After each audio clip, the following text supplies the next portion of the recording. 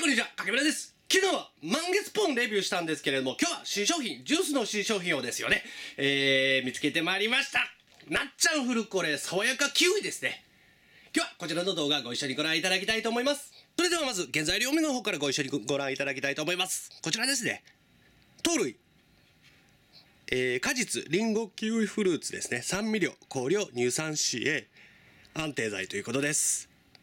あと、カロリーの方は、えー、200ml あたり93キロカロリーということです。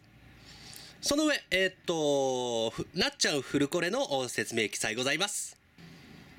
おー、トロトロですね。すごい。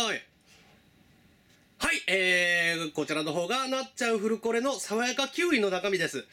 なんか果肉たっぷりでちょっとドロドロ感があるんですけれども、それではお味の方ですよね、チェックしてみたいと思います。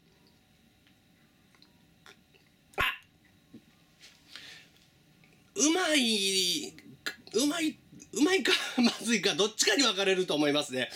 ちょっとキウイのアクが強すぎる、癖が強すぎるっていうか、えっ、ー、と、全般的にまろやかなんですけれども、果肉もあって、えー、美味しいんですが、ちょっと喉越し、キウイのすごい、えー、強い癖、独特の癖ですよね。あの、なんて言ったらいいんでしょうか。あちょっと刺激が強いような感じの癖があります。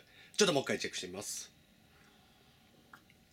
うん、全般的にあの、アップルとキウイがよく絡んで果肉もあってすごい、えー、喉越しまろやかで納得できる美味しさなんですけれども、キウイの癖がですよね、ちょっと、な、青臭い、しそ臭い言うたら変なんですけれども、シソの匂いとは全然違うんですけど、シソも癖あると思うんですけれども、まあそんな感じで、えー、キウイの癖が強く出ている感じですね。でも美味しいです。いいと思います、なかなか。なっちゃんフルこれ、えー、爽やかキウイですね。えー、パンと一緒に食べたらいいんじゃないでしょうか。すいません、いつも適当で。それでは簡単なんですが、失礼させていただきたいと思います。